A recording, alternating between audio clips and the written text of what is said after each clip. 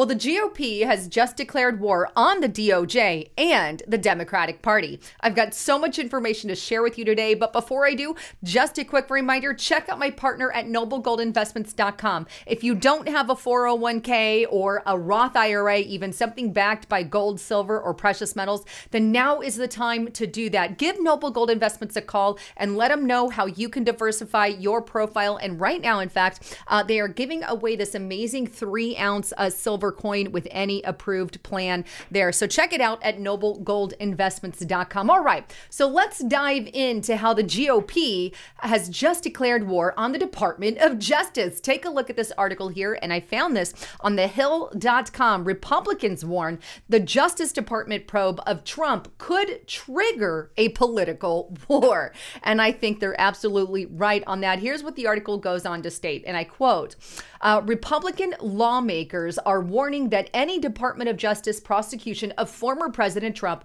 will turn into a political battle, setting a high bar for Attorney General Merrick Garland to act on an expected criminal referral from the House J6 committee.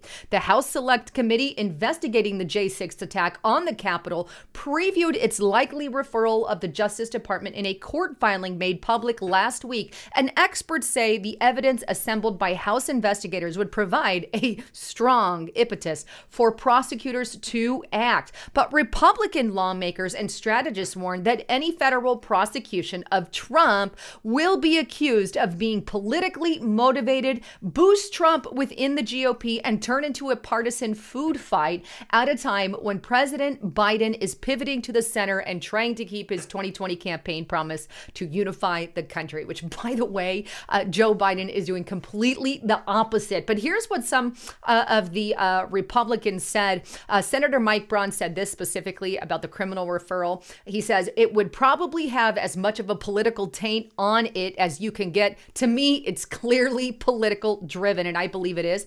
Uh, here's what Jim uh, McLaughlin said. He said, I think it could backfire in a way that they have no clue. I think it's going to backfire because it is so politically tainted. It's tainted.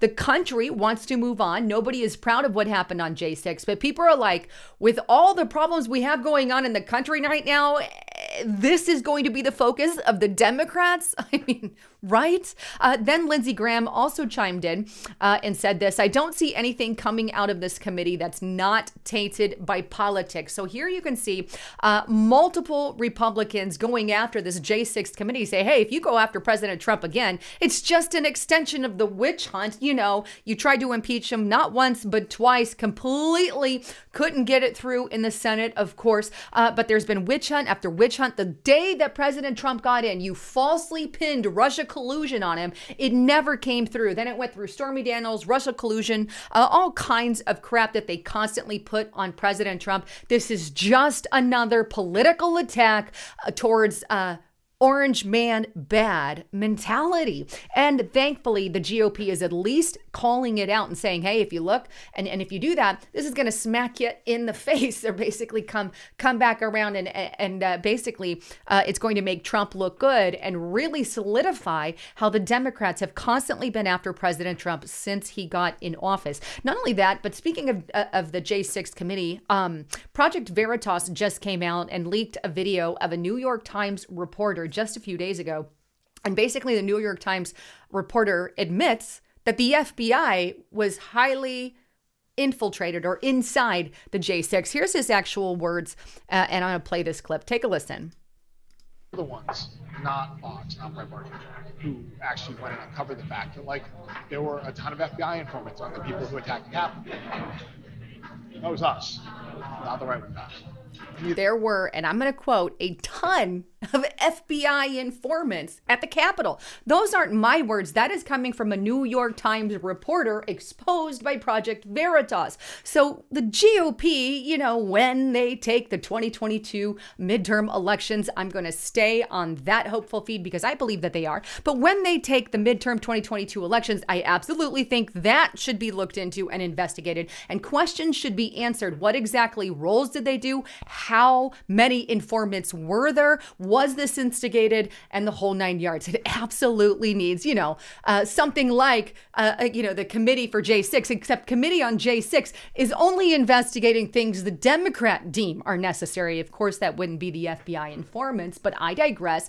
The GOP is now threatening the Democrats, saying, hey, when we take the midterm elections, what and if we take the midterm elections, we've got some things we are going to be investigating now. Here's some of those things. Uh, and this is good news for us. BusinessInsider.com Trump vows the GOP will investigate Biden corruption if they retake Congress in the midterm election. Here's another here. And this is also Business Insider. McCarthy also says he's going to probe COVID 19 origins and investigate allegations that the Bidens have made millions from deals with China if the GOP wins the House in 2022. The Epoch Times GOP says it's going to investigate Fauci. Thank God if it retakes the House in 2022. And Rand Paul on Real Clear Politics says Fauci will retire Hallelujah. If Republicans take over House Senate, I will investigate the corruption. So the GOP so far is promising to investigate Fauci, the origins of COVID 19. Uh, not only that, but the corruption within the Biden administration. And of course,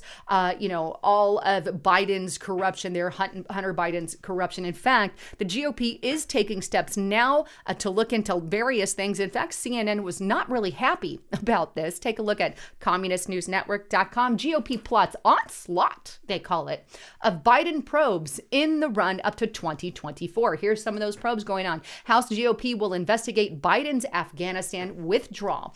House Republicans investigating Hunter Biden art sale. Now, some of these uh, have happened over the past year, but you can get an idea. Some of these investigations are still going on. Then we have here Republicans e- even held COVID origins hearing, uh, pointing back, they say, to the science lab leak. And then we also have FoxNews.com. This is back in January. Top Republican charges Nancy Pelosi is restricting access to January 6 records in GOP probe of her actions. So the GOP is obviously making headway and making movement. Meanwhile, the Democratic Party keeps failing and failing and failing. With Biden now getting us into this war, things aren't looking good for the Democrats. In fact, 25% now think Biden is mentally unfit. Less than 20, excuse me, I said that wrong.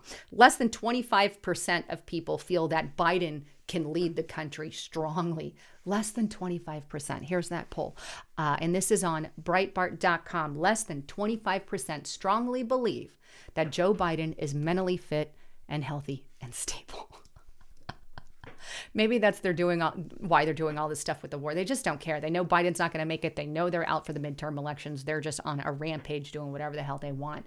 Anyhow, please don't forget uh, to get on over to restrictedrepublic.com. You guys got to get there. Uh, I've got all kinds of amazing videos you need to see on there. And right now, you can get uh, two months free using the coupon code two and the word free just to check it out. Uh, but get there, watch some of the videos, see what we have to offer. This is uh, one of the reasons I'm uh, still able to do what I do to restrictedrepublic.com and check it out. Anyhow, I love you all. I'm Lisa Haven signing out.